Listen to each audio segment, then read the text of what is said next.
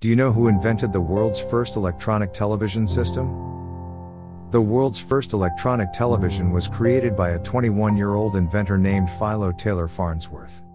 That inventor lived in a house without electricity until he was age 14. Starting in high school, he began to think of a system that could capture moving images, transform those images into code, then move those images along radio waves to different devices. Farnsworth was miles ahead of any mechanical television system invented to date.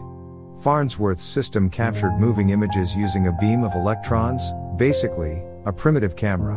The first image ever transmitted by television was a simple line.